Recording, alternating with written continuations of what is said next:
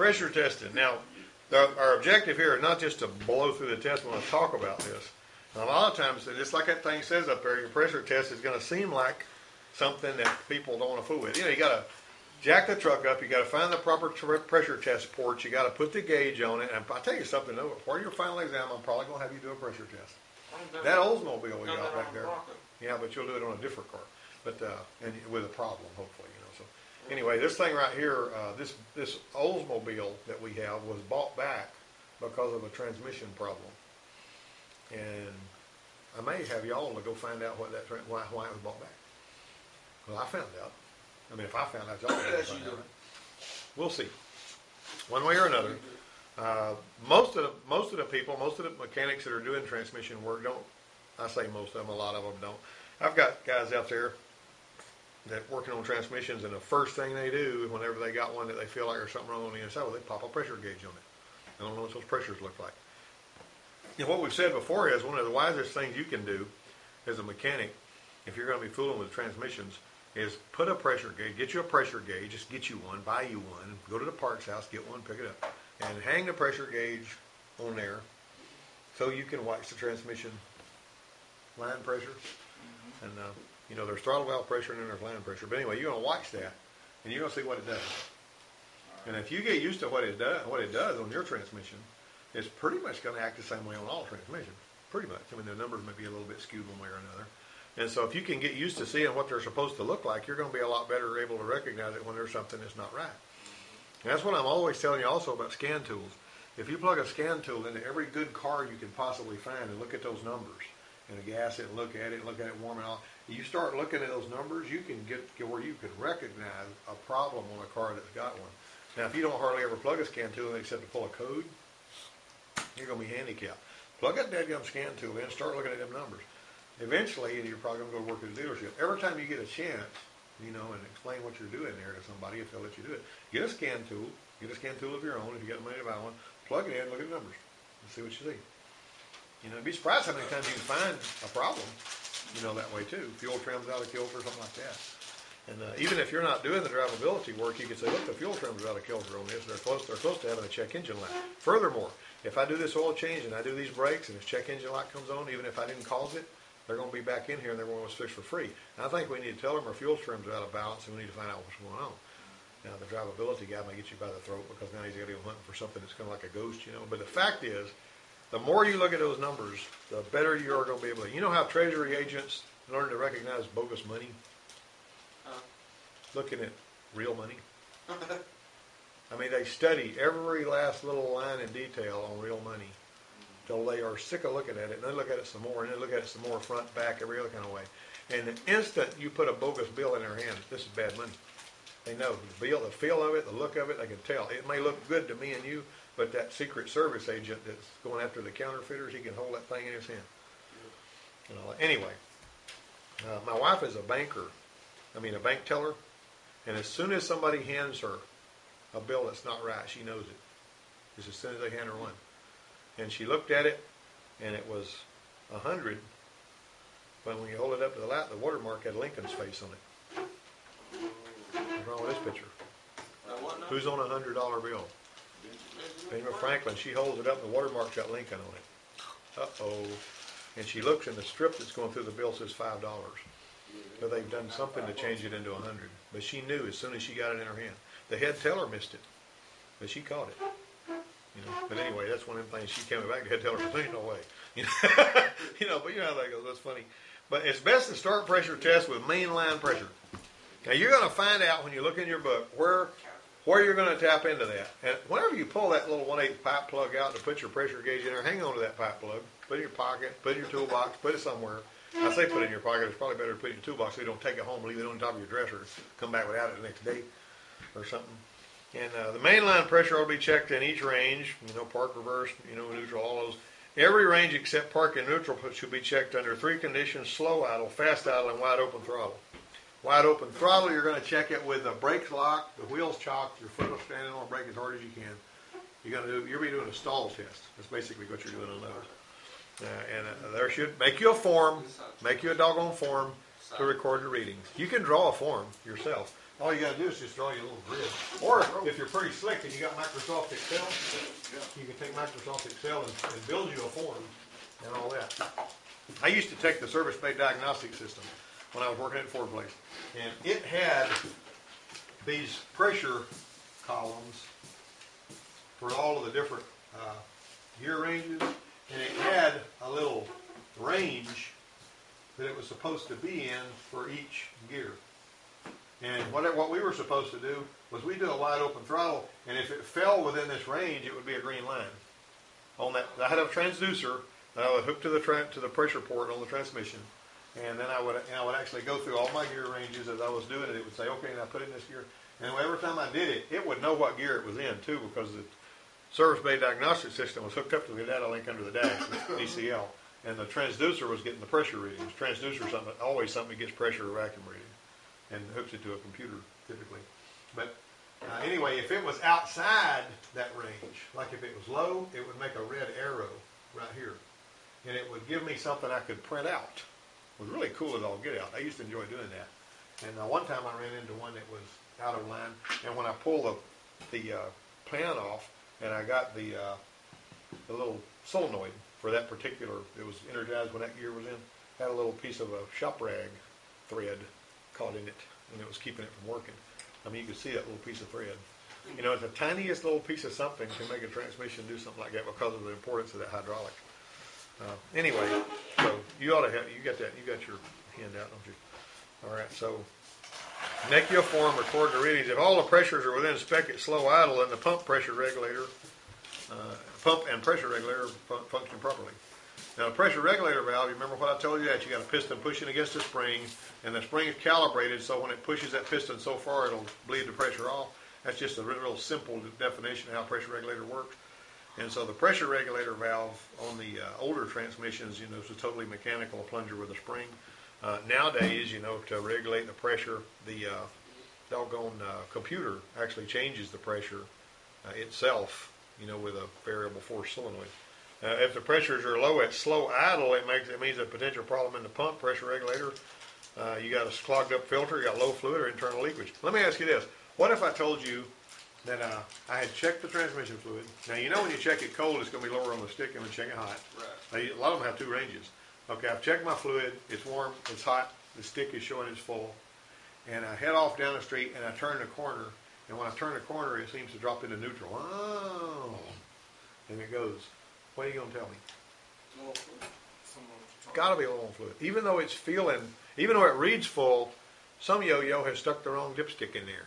It has to be low on fluid. If you make a corner and it neutralizes and it catches again, it's sloshing fluid away from the pickup. So you know, add another quart of fluid to it and just see how it does then. If it does right then, you better put the right dipstick in it. Because you know, you know how dipsticks get lost and mixed up, and somebody grabbed the one that went on the other truck and all that kind of stuff. That's just a little, you know, I'm charging enough for that. That's the same thing. So, uh, all right. Uh, so anyway, uh, if the pressures are now, uh, you know, let's see, verify where the problem is. Check them at fast idle. If it reads uh, normal, then it usually means the pump wore out, but the problem could still be internal leaks.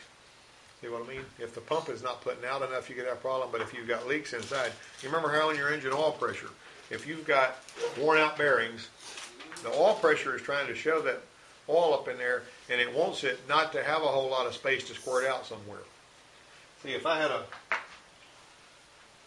anything in any sort of a hydraulic system like that, if I've got a bearing that fits pretty tight, and I'm running a, a tube, I mean, a drilling. All right, so let's go. Let's go back to where we were. Internal leaks is going to show up in a particular range.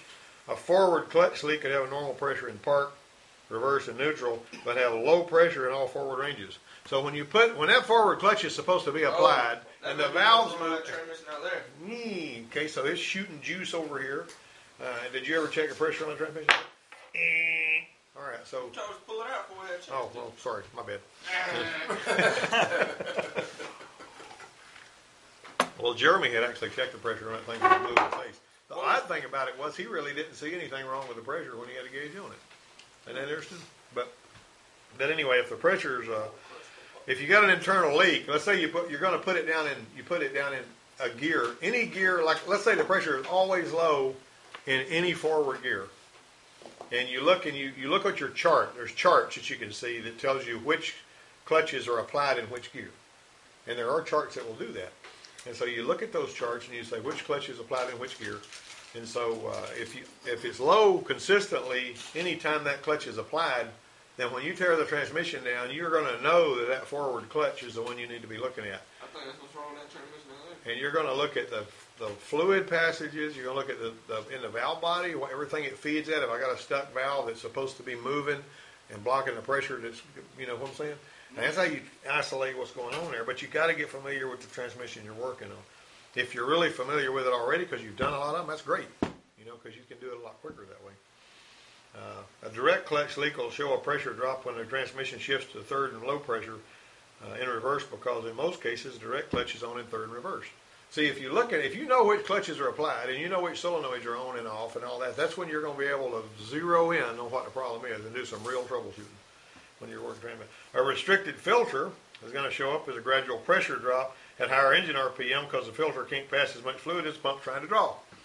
Pump's trying to suck fluid. It's like a fuel filter, right? It keeps trying to pull that fluid, and it's gonna, you're going to see the pressure fall off. And you can say, "Well, my filter's clogged." One of the things we used to do is the old Chrysler uh, TorqueFlite transmissions when I was working at a gas station in the '70s. We'd get some stuff called TransClean. It's still out there, but I don't know if it's even the same stuff. It used to be made by Silu, and uh, we would uh, have a transmission like a Dodge. It just wouldn't even hardly pull. We pull, we change the fluid and filter, which it had a real a sort of a fine cloth looking fluid and filter.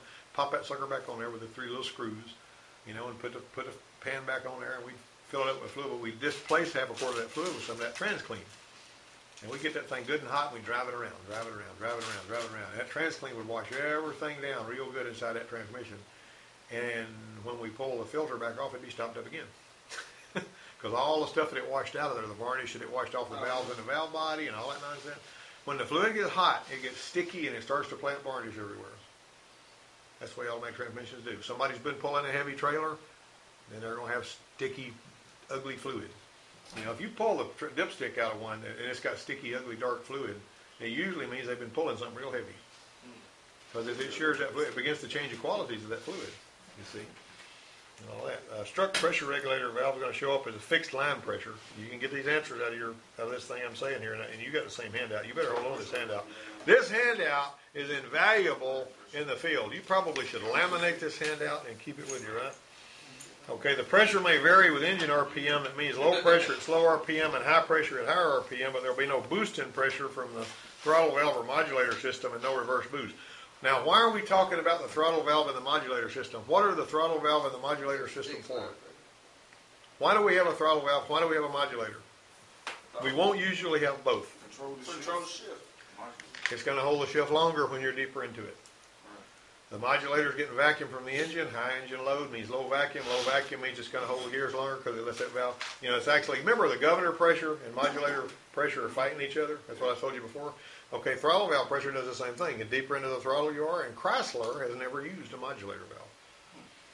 I had a '67 Chrysler New Yorker, and it did not have a modulator valve, but it did have an upside down speedometer, and uh, and it did have a 440, and boy, would it ever go.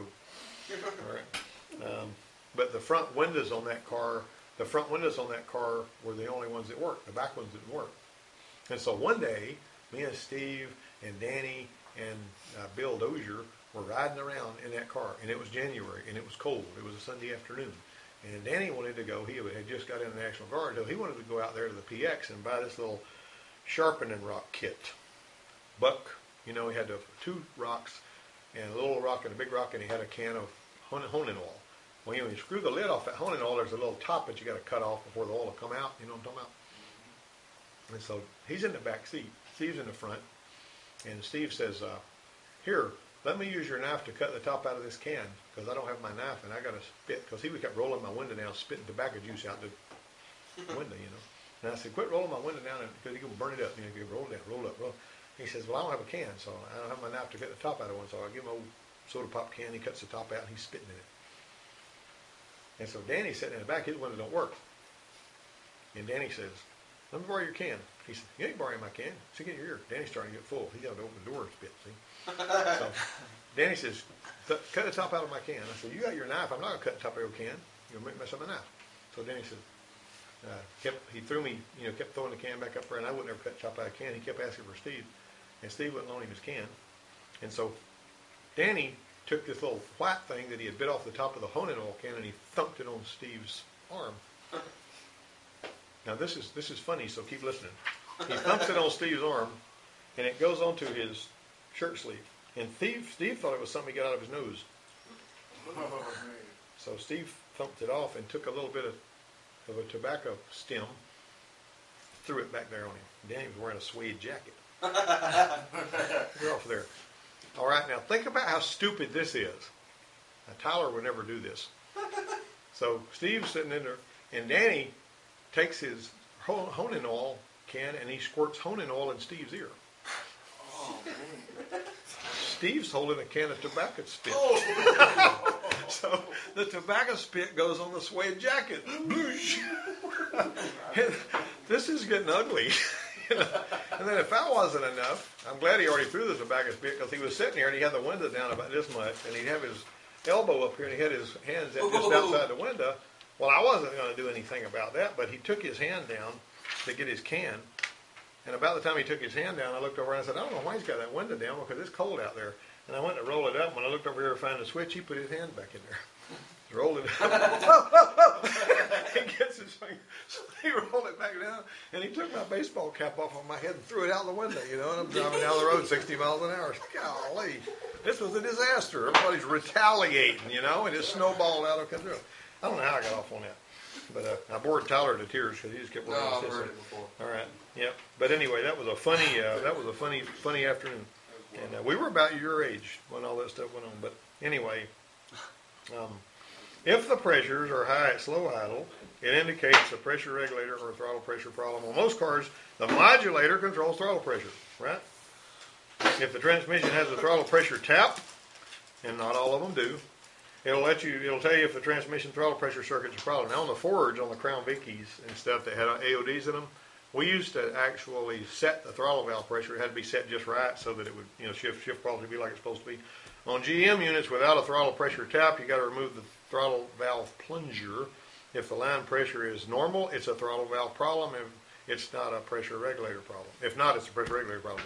So you can see how this is leading you to where you need to go. See. Uh, pressures need to be checked at stall or wide open throttle.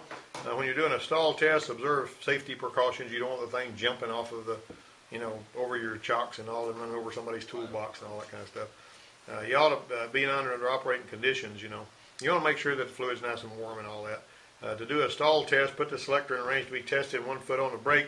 Uh, you know, you're going to lock the brake, chalk the, I mean, everything you can. I'm going to tell you something, guys. Sometimes you cannot hold that brake enough to do a stall test without spinning the wheel.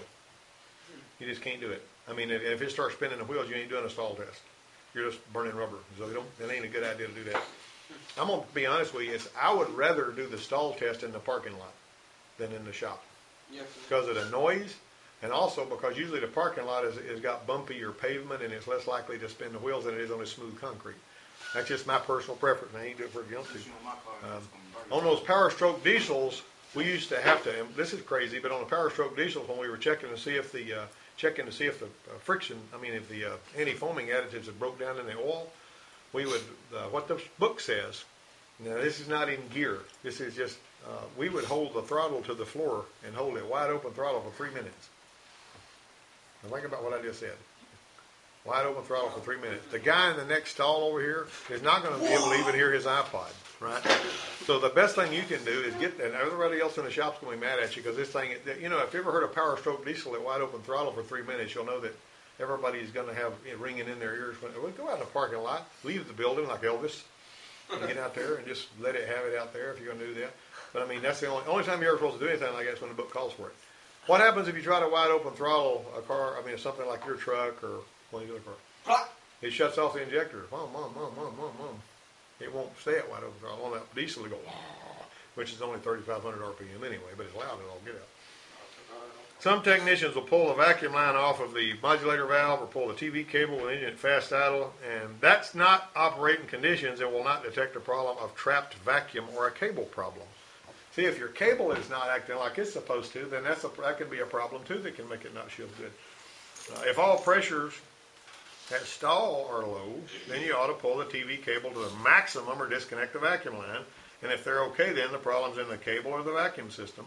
If the pressures are still low, then the problem's in the pumper control system. Got that?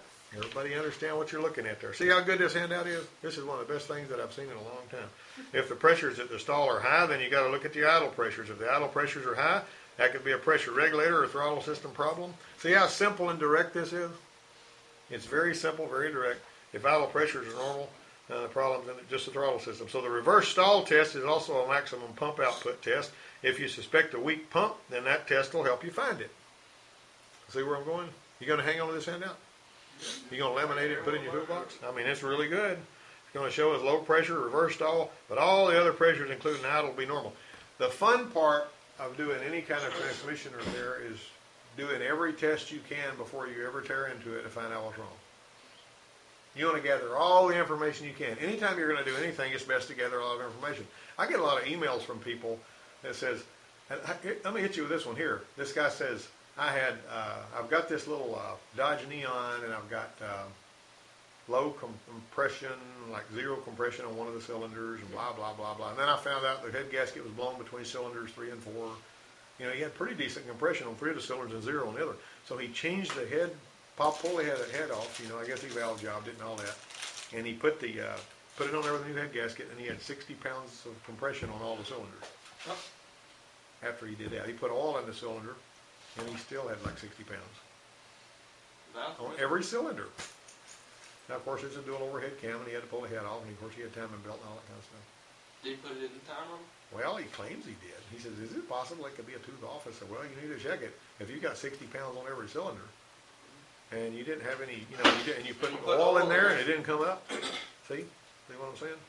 I mean, that's the whole thing. Now, some people will just fly in there and start doing work, and then they'll find out that they've done a bunch of stuff that didn't need to be done because they didn't actually find out what was going on before they went in there. That's what this is about. You're trying to find out as much as you can.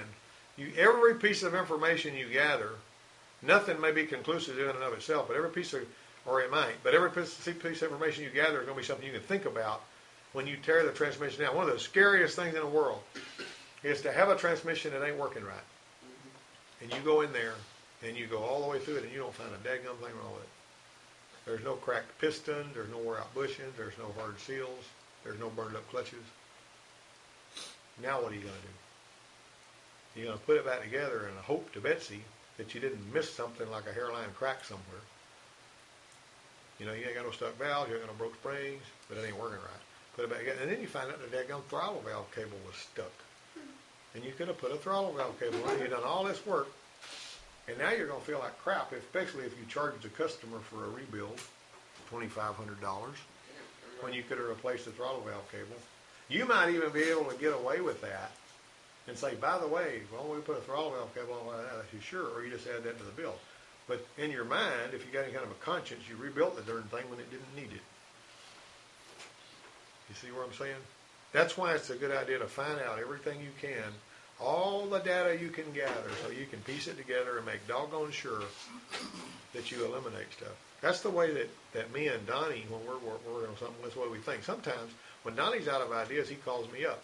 When I'm out of ideas, I call Donnie up. Two heads are better than one. I don't care how smart you think you are, you can always get good ideas from somebody else that's on your level. Donnie called the other day, and he said, I got a Chevrolet that idles like crap. It's been all over the place. And he said it'll stall, but if I unplug the bypass wire going to the distributor, like I was going to set the time, it will never stall. It'll sit there and run just fine. So he said it was like a 91 Chevy, and he says, what do I do with that? I said, well, it sounds to me like you got something going on with that distributor. So they already put a new distributor on it. The thing's been at every shop in the country for six months. Nobody's been able to fix this darn thing. And I said, well, let me go to Identifix. So I pulled Identifix up, and it said if you pull the the bypass wire and it doesn't stall, then spin it over check the pick the output of your pickup coil. If it's not at least 700 millivolts, then you got a bad pickup coil, or your distributor shaft is wiggling or something. So, so Donnie says, hmm, that's something I can sink my teeth into there. I can go ahead and get them numbers. So he called me back and he says, I checked the distributor in the truck, spinning it over. It's got 300 millivolts. I got a distributor out of the box that I got from the parts house and hooked up to it and checked it, and I spun it with my fingers. I got three volts. Put it in there, run like a sewing machine, hadn't skipped anymore. Been at shop after shop after shop after shop for six months, and nobody been able to fix it. You see what I'm saying? Well, what I did was, I didn't have, I wasn't the fountain of all knowledge, but I had a resource that he didn't have. I looked it up on Identifix, found it. Some other mechanic was smarter than me. He knew exactly where to go because he'd seen this problem before. You know what I'm saying? That's why Identifix is just about something you can't get by without. You get used to it here, you're gonna want it out there. That's why they give it to me free, because they know you guys are gonna get addicted to it. And when you go to work somewhere, you're gonna start saying, man, we need Identifix, we need Identifix, you see? All right. So, remember this now. Remember that you reverse, what, what have you noticed, the ones of you guys that have done pressure tests, what have you noticed about reverse? The pressures in reverse, what makes, what's different from, about them? Yeah, zero. Huh? Zero. No, No, that was modulated valve, we done that. Oh, yeah, yeah, yeah. Now, what I'm talking about is the pressures in reverse are just about always higher than in every other gear. On every transmission I remember checking it, it's always a higher pressure. The, the pressure it's supposed to be is higher, and it'll typically be a higher pressure. That's why I say a reverse stall test is a maximum pump output test. And so if you suspect a weak pump, then that test will help find it. It didn't say that it'll definitely pinpoint it, but it will help find it. You see what their words are here? Okay, if a person wants to become really proficient with the pressure gauge, you put it on their own vehicle and leave it there for a week.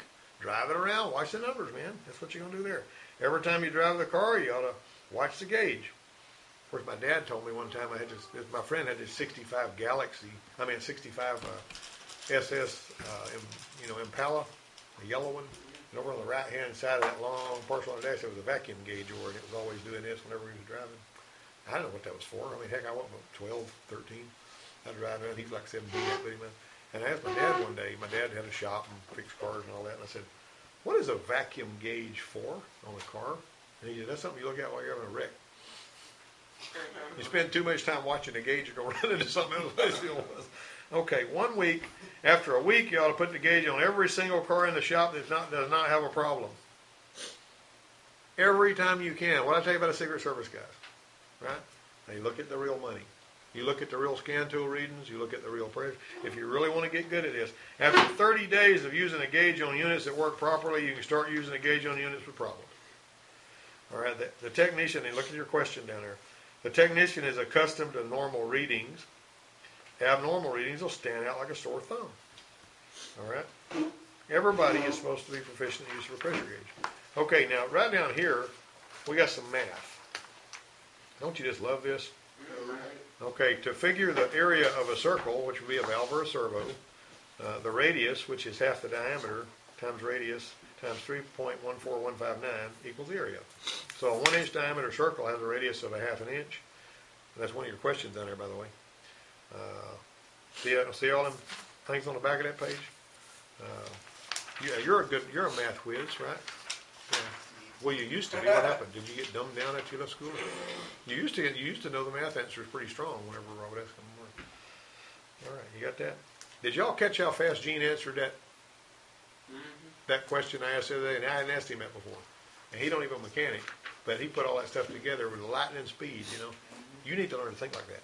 You understand what I'm saying? Rewire your brain so that you can think quick whenever you got to do something like that the shop foreman over at the Ford place used to come and get me to, he'd have these shims that would have metric thickness readings, and he'd want me to convert it to standard thousandths where you could understand what he was saying.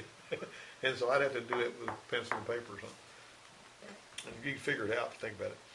Okay, one a one inch diameter circle has an area of what?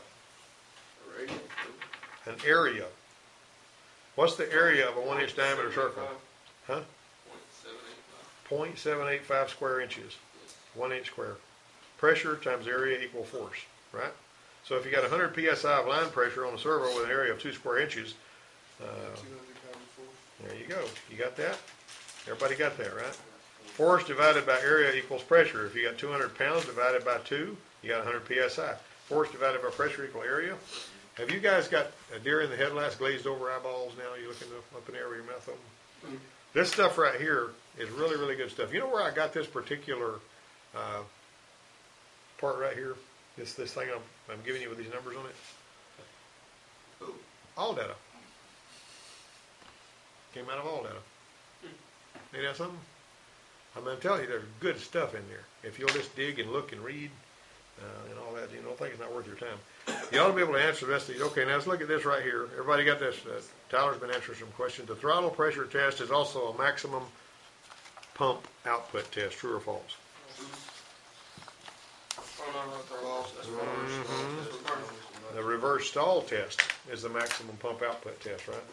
Okay, when doing a stall test, always observe safety precautions such as checking for broke motor mounts or bad brakes and that kind of thing. Now, why is a broke motor mount a problem? The Engine tried to jump out of the car, wouldn't it? Yeah, mine was doing it one time after that hot ride. My car jumping off the ground. Yeah. That's what I wanted. I didn't want it by. Motor mount broke. See, Lawrence has been around, uh, and worked with a lot of well, rough cars for a long time, ain't you? Motor mounts down. All right. Uh, each range except drive and reverse should be checked under three conditions, slow idle, fast idle, and wide open throttle. True. That's false. False. It's parking neutral. Uh-oh. Park and neutral, there you go, we remember that. After thirty days of using a gauge on units that don't work properly, start using a gauge on units that do not have problems. Okay, after thirty days of using them work properly, then you're gonna use them on units with problems, so it ought to be, if you're in custom normal rigging, right? A diameter of a circle, a one inch diameter circle has a radius of a half inch. That's true. A stuck pressure regulator valve will show up as what kind of line pressure? Fixed. Fixed line pressure. Seven, testing should always be done under what conditions? Operate. Operating conditions, yeah, don't change a lot of stuff and expect to get good numbers if you've unplugged the vacuum line or if you pull the car and all that. What's the reason most people don't use a pressure gauge? Huh? Right, that's the first paragraph. Test. It's not- The very first paragraph. The very, the, most, the reason most of them don't use it, They don't. T- it doesn't tell them how to fix a problem. and they don't see the value in using one. Either one of those will work for you. Okay, number nine, pressures need to be checked at stall, which is actually wide open throttle. Now, you don't check it at wide open throttle in park or neutral, okay? You're only gonna do that when you're in gear, and it's really important to make sure you do that safely. Because I'm telling you guys, you have got a tremendous amount of power harnessed there. All right, you got that?